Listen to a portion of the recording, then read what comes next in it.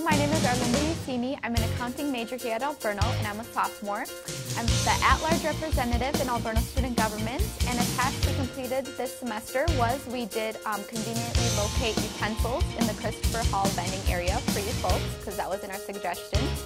And we are also tackling the project of getting students more involved here on campus